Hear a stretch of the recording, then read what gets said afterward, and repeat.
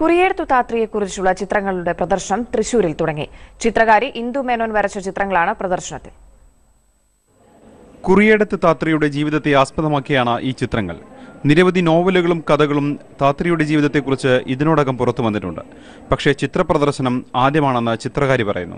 Lalithakala Akademi art ഗാലറിയിലാണ് ചിത്രപ്രദർശനം. താത്രിപാവം എന്ന പേരിലാണ് പ്രദർശനം.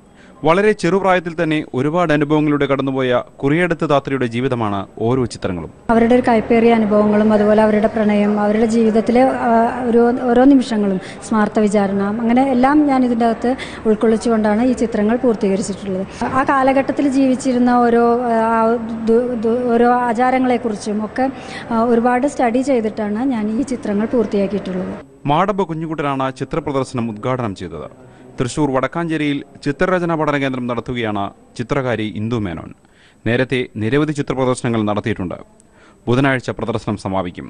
മനോരമ ന്യൂസ് തൃശൂർ.